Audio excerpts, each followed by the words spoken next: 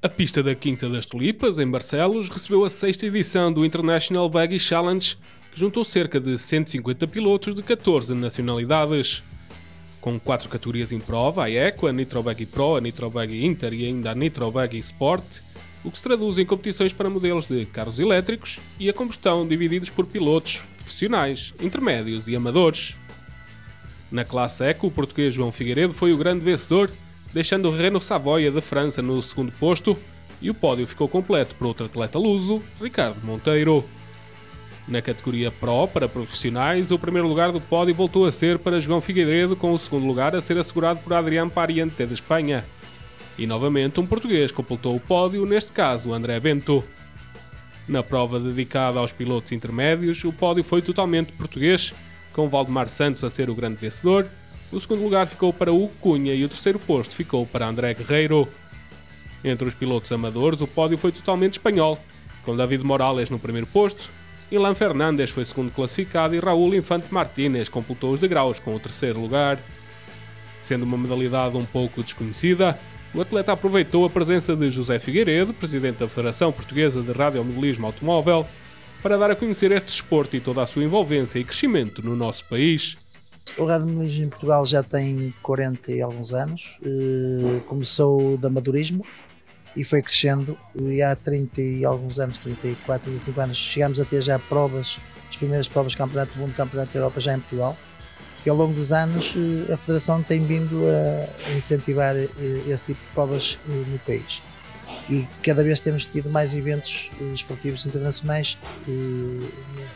portanto, todos os anos temos mais, mais eventos desta modalidade, que é o todo terreno, que são carros eh, de, combustão ou elétricos, com uma escala que é a escala 1.8. Esta prova especificamente é uma prova internacional que todos os anos é feita para um ranking internacional de pilotos mais virados para os pilotos profissionais, apesar de conseguir interagir os profissionais com os amadores. Portanto, é isso que o que torna interessante este tipo de provas, é que tanto pode correr os profissionais como amadores, enquanto nos campeonatos da Europa, campeonatos do mundo, existe mais profissionais a andar, mais quantidade de profissionais a andar, porque são esses que, que têm normalmente lugar na seleção nacional de cada país.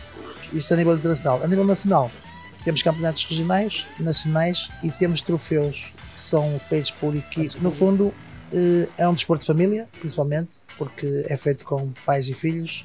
Alguns pais já correram, agora são os filhos que correm, no meu caso e o caso de uma série de, que estão aqui outros que apareceram agora na modalidade com os filhos, que aqui em Barcelos, principalmente em Barcelos, temos muitos jovens já a andar com os pais. A pista da Quinta das Tulipas é considerada pelos praticantes da modalidade como uma das melhores do mundo na vertente de todo o terreno do radiomodelismo. Daí a presença massiva de vários atletas dos mais variados países. José Figueiredo explicou ao atleta o porquê de ser assim tão reconhecida. Esta pista existe há cerca de 8 anos. Esta prova específica há 6, é a sexta edição mas a pista já existia para os campeonatos regionais e para os troféus e nacionais. Portanto, a pista realmente é das melhores do mundo porque tem instalações que foram feitas a pensar em realizar provas internacionais e campeonatos nacionais. Não foram a pensar propriamente em fazer só brincadeiras ou troféus. Portanto, foi uma pista pensada para que seja o, o modo como está organizada seja muito prático para a organização realizar um campeonato do mundo ou um campeonato da Europa que seja ou um campeonato nacional e tudo corra muito bem, muito bem. Ou seja, a entrada das boxes, a saída das boxes, a entrada de pilotos, a saída de mecânicos, eh, as verificações técnicas ficam à saída de, são os carros saindo de, das mangas de qualificação, normalmente têm que ir às verificações técnicas para perceber se o carro está dentro das normas ou não. Todo o circuito que foi feito aqui em Barcelos foi a pensar nesse sentido. E todos os anos evoluímos coisas novas para tentar melhorar cada vez mais. Por isso, é dos circuitos a nível mundial que são poucos com essas condições.